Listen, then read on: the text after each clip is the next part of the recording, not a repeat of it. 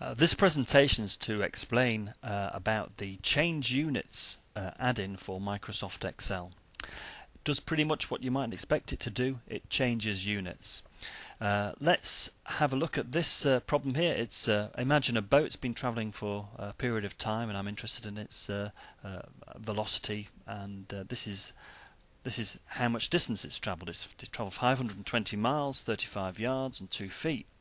Uh, I need to convert those into a consistent set of units for me to uh, calculate, um, to, to add those together to work out the total distance it's travelled. And that's what the uh, convert uh, the change units uh, add-in does. Uh, and I'm, I'm using a function here called toMetric. I find it quite useful. it changes things into the MKS metric measurement of in this case it's going to be uh, distance. So the MKS metric uh, unit for measurement is meters. Uh, and in fact, what's happening here, if I just show you this, uh, we're taking 520 miles and converting it to the MKS metric unit, which is meters. That's what that function does there. And this little function just tells us, it says, show me the MKS metric unit for miles, for distance. Uh, and that of course gives uh, returns uh, meters. Uh, now there's also a from metric. So uh, this function here is saying let's take uh, something uh, let's take this number in meters from the metric system and put it into miles. And that's what that so okay. So we've proved to ourselves that the the function works because it's changed it back to the same value you might choose to uh, use uh, just the change units function. It's a, it's a very good function uh, for converting straight directly from one system of units to another. So in this case, I'm I'm I'm changing uh, cell D2 uh, from meters, and I want to put it into yards. Or I don't necessarily have to explicitly use the m and the yard. Uh, I could just use these parameters here. So it shows uh, we're taking a number uh, and we're changing from meters into yards. So that's that's the change units um, uh, function there. Now, the only thing I would say about change units is that you have to be very careful about uh, the uh, your the the words that you use to describe. It wouldn't make any sense to say to have typed miles here because miles with an s on the end isn't recognized. I'll just show you what would happen if I type that in. It says it's an unknown unit. I don't recognize miles. So you have to be quite aware uh, of what uh, what words or what units are recognized and what units are not recognized. Um, so I've put together a little uh, spreadsheet here with a, a, list of all the units that uh, it, re it, it recognizes. So I'm just going to switch windows. Uh, and uh, okay, here's a great big long list of all the units it recognizes. So all these words will be recognized. Uh, now, the case sensitivity, of course, is very important because there is a difference between little mj for millijoule and big mj for megajoule. Uh, so uh, there is a good reason uh, why it's very precise uh, about the uh, uh, units that it recognizes.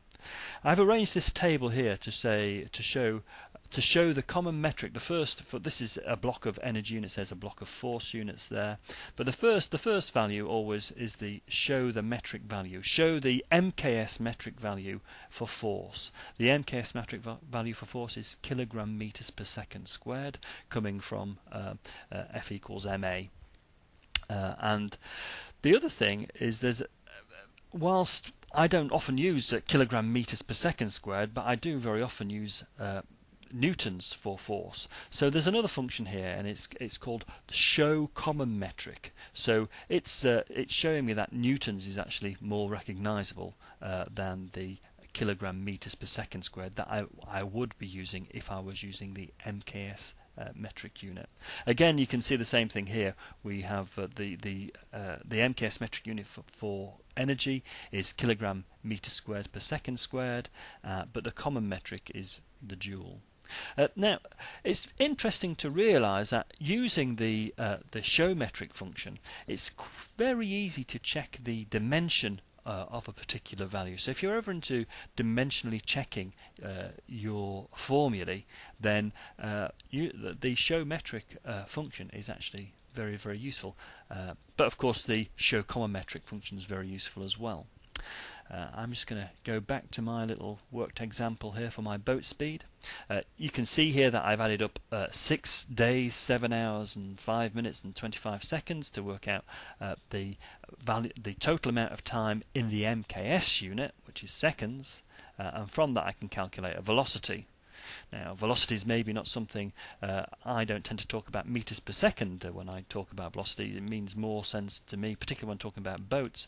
Uh, I, I, understand a knot far better than I understand meters per second. So, uh, I think there's a there's a reason for why each of us will want to change units. It's because of uh, um, depends where we live in, uh, in the world uh, and uh, our familiarity with certain units. But it's always very good to keep your to keep a sense of a problem by uh, understanding and appreciating the units that you're working in.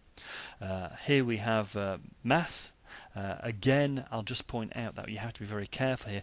LBM means pounds mass. LBF is pounds force, and LB actually isn't recognized at all. So if I just show you that, uh, you can see again why words are important when we use the change units add-in. Um, and uh, here I'm calculating an energy. Uh, and it's showing the difference between when I show the metric uh, system of units, uh, I get one thing, and when I show the common metric, I get the probably the unit I would want to use in a calculation, which is the joule.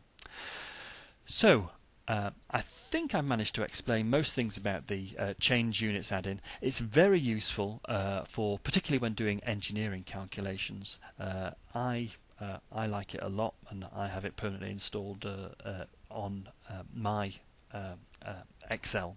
So thank you very much for listening, and I hope you enjoy it too.